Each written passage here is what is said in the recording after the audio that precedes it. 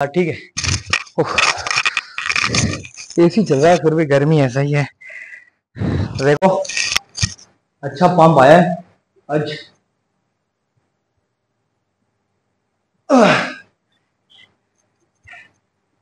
तो आएगा जी welcome back with another new video so आज हम अभी तैयार होकर रेडी हो गए हैं। आज हम करेंगे हमारा चेस्ट वर्कआउट देखो ऐसे तो हम मिस नहीं करते हैं किसी भी चीज़ को। तो आज थोड़ा मैं जल्दी जा रहा हूँ क्योंकि मेरे को थोड़ा काम है। तो चलिए मिलते हैं। एक्चुअली बहुत एक्चुअली मेरा ना थोड़ा प्रॉब्लम था।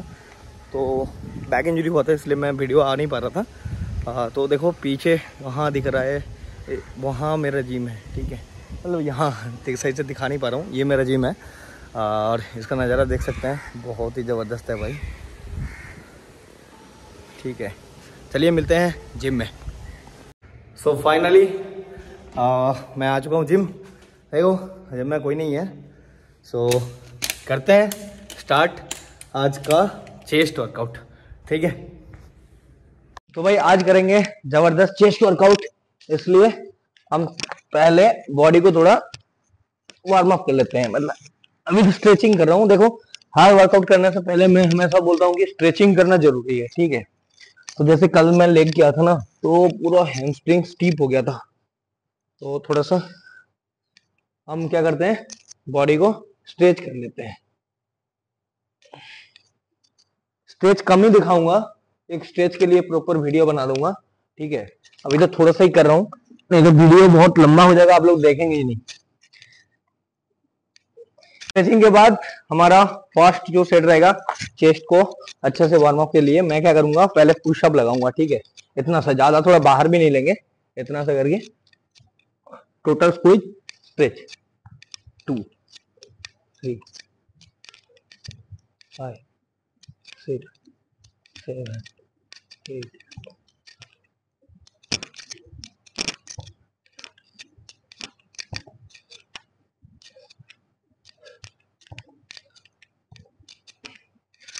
तो ऐसे मैं ट्वेंटी किया ट्वेंटी का मैं चार सेट लगाऊँगा, ठीक है? फिर मैं मैं लगा देता हूँ, ये फ्लाई देखो, ये फ्लाई ऐसे नॉर्मल लगाते हैं, जैसे वर्कआउट के बाद लगाते हैं ना, ऐसे लगाते हैं। इसको मसल का जो चेस्ट का लोअर पार्ट है, इसको हीट करने के लिए मैं यहाँ से स्टार्ट करता हूँ इसको। और इसका पोस्टर क्या रखना है? ग्लूट्स को थोड़ा आगे की तरफ़ रखना है बॉडी को ऐसे रखना है, ठीक है? फिर ऐसे पकड़ के वन इसका मैं चार सेट लगाता हूँ हमेशा। हमेशा नहीं मतलब अभी जो मेरा शेड्यूल चल रहा है, इस शेड्यूल में मैं ऐसा ही करता हूँ। टू देखो सेम वर्कआउट फॉलो मत करो, ठीक है? बीच बीच में उसको चेंज भी करो। उसमें क्या होता है, आपको मसल ब्रेकडाउन बहुत अच्छे से होता है। मसल ग्रोथ में बहुत हेल्प करता है। फिर मैं करता हूँ क्या? इनक्लाइन बेंच प्रेस ठीक है? देखो, ये हमेशा ये जो बार है ना निप्पल जो है हमारा, निपिल के ऊपर होना चाहिए, जिसमें अपर चेस्ट को अच्छा प्रेशर आए। और ना, ये लोअर में थोड़ा अपर की तरह रखो मतलब इसमें गैप गैप बना के रखो। ठीक है, वो अच्छा स्टेन भी देता है और प्रॉपर फॉर्म वही है। चलो, करते हैं हमारा फास्ट सेट वो भी है भी ताकत से दस तो मारना ही है वन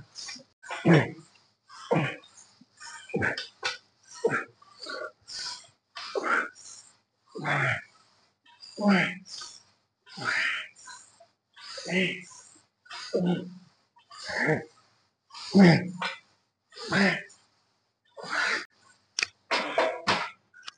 मेरा फास्ट सेट रहता है, मैं इसमें बारह से पंद्रह रेप्स करता हूँ। और करने के बाद हमेशा, मैं क्या बोलता हूँ पोजिंग करो पोजिंग मस्ट है। देखो, जितना अच्छा पोजिंग करोगे ना, उतना अच्छा आपका सेप निकल के आएगा। ठीक है?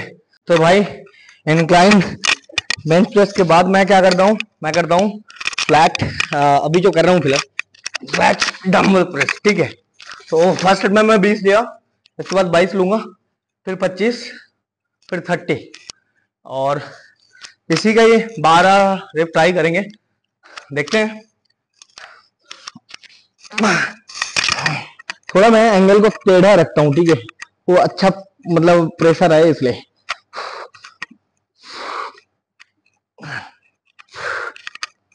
देखो भाई जल्दी नहीं मारना है बनना है तो धीरे से बनेंगे लेकिन अच्छा बनेंगे चलो थ्री फाइव सिक्स नॉन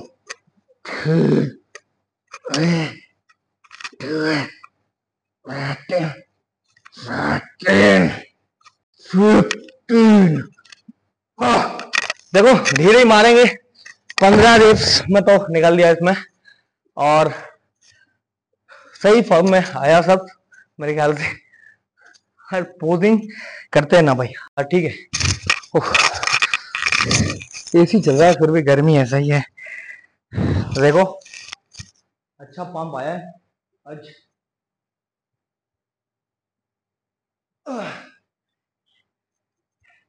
इसके साथ मैं करता हूँ। तो इंक्लाइन फ्लाई होता है ना, ऐसे करके मतलब नीचे जो हम मशीन में करते हैं, मैं वही चीज़ करता हूँ, लेकिन डम्बल लेके करता हूँ, ठीक है? वो भी कैसे करता हूँ मैं दिखा देखो फ्लाई के साथ मैं ये करता हूँ सुपर सेट करता हूँ। थोड़ा सा बेंड जैसे विकेट कीपर बैठता है ना, ऐसे थोड़ा सा बेंड हो गया, फिर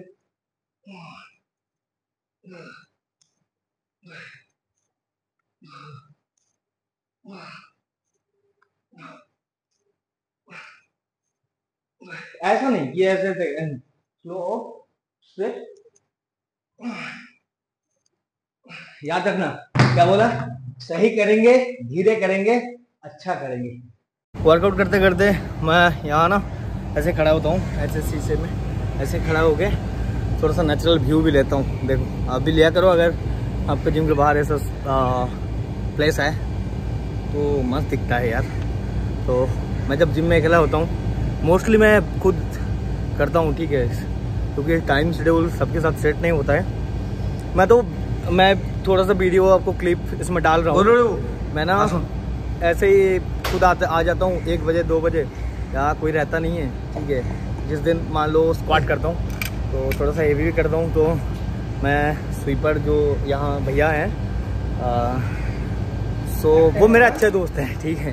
तो वो मेरे को टच दे देते हैं, ठीक है। मैं थोड़ा सा क्लिप भी डाल रहा हूँ अब देख पा रहे हैं साइड में। तो ऐसे ही झाड़ू देते देते भैया आइए तो कर देते हैं, ठीक है। तो देखो बाहर का नज़ारा कैसा है।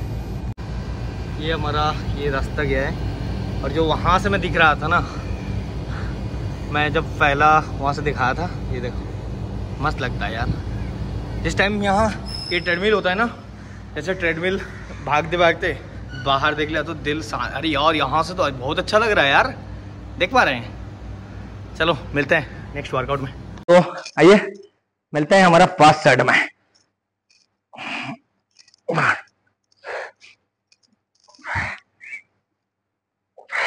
मैं एक चीज़ बोलना भूल गया था, देखो ये पोस्टर ना बेंच थोड़ा लोअर बैक उठा के रखना, ठीक है, ऐसे। अच्छे से stretch switch stretch switch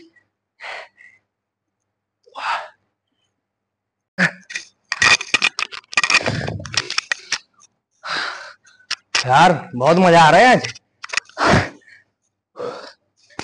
competition खेलना है। को पोजिंग करना ज़रूरी है। पोजिंग आप जितना अच्छा कर लोगे, इतना क्या होगा? आपका मसल डेफिनेशन जो है, वो सही हो जाएगा। ठीक है।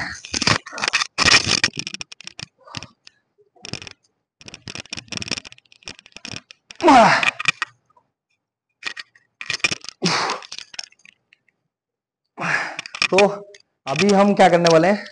अभी हम करने वाले हैं केबल फ्लाई ठीक है? तो आओ, मिलते हैं केबल फ्लाई में। डिक्लाइन वाला, ठीक है? लोअर पार्ट को हिट करने के लिए। तो इसका मैं सुपर सेट लगाऊँगा। कैसे? वो भी दो वेरिएशन में। एक तो पैर क्लोज रख के थोड़ा सा बेंड हो गए। ये वन टू ये स्लो करना है, ठीक है? जैसे लोड शोल्डर बाइसेप पे ना आए। Three four seven eight nine फिर एक पैक मतलब सेम दस इसमें क्या? इस पोस्टर में, फिर क्या करूँगा? एक पैर आगे करके, ये जो है ना, जो हमारा हिल है, उसको आप रखूँगा ठीक है? अब फिर वन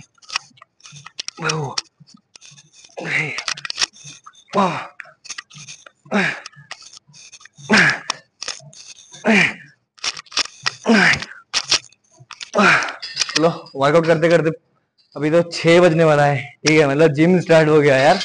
अभी एक भैया आए तो देखो, हर, मैं अभी भी बोलता हूँ, हर सेट में वर्कआउट करने के बाद बैठे मत रहो, ठीक है? अपना गोल फोकस जो है, उसको सोचो। फिर और पोजिंग करते रहो। जब तक आप पोजिंग नहीं करोगे और आपका माइंड में वो मसल कनेक्शन नहीं बैठेगा अच्छे से, आपका ग्रोथ अच्छा नहीं होगा। और ना स्ट्रेचिंग करना है ऐसे। ये वाला, ऐसे करके। तो इसके बाद में मेरा लास्ट वर्कआउट है। वो बहुत ही ज़बरदस्त है। आप उसको मिस मत करिएगा। वो है डम्बल पुल ओवर फिर मैं स्ट्रेचिंग करके खत्म कर दूँ। डम्बल पुल ओवर ठीक है? देखो, एक चीज़ तो है कि डम्बल पुल ओवर में ना रेप्स मैटर करता है, ठीक है? अगर बिगिनर्स हो तो एक्चुअली मेरा लोअर बैक का थोड़ा इंजरी हो रखा है तो इसलिए मैं अभी जो है, फ़िलहाल मैं वाइड करके नहीं कर रहा हूँ, अभी बेंच के ऊपर ही करूँगा, ठीक है? तो अपने हिसाब से वेट ले लेना, जिसमें कम से कम 10 से 12 रेप्स आपका निकल जाए, ठीक है? तो हम करते हैं। जिस दिन देखो, ये ना, जैसे ये ना चेस्ट और बैक दोनों में ही काम करता है तो अच्छे से स्ट्रेच करता है। क्या करना है? जिस दिन बैक करना है वाइड करना है, जिस दिन हाँ चेस्ट करना है इसको एल्बो जो है, वो क्लोज रखना है, ठीक है? आज तो बैक चेस्ट ही कर रहे हैं। तो फिर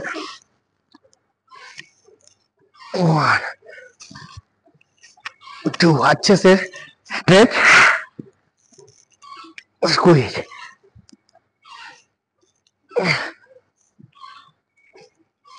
तो